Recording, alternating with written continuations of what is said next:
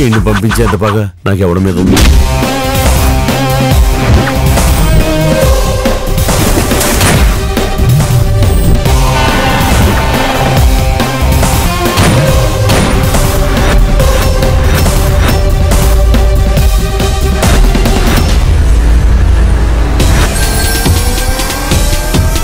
వాడిక్కడ ఎక్కడ ఉంటాడు. వెతకండి.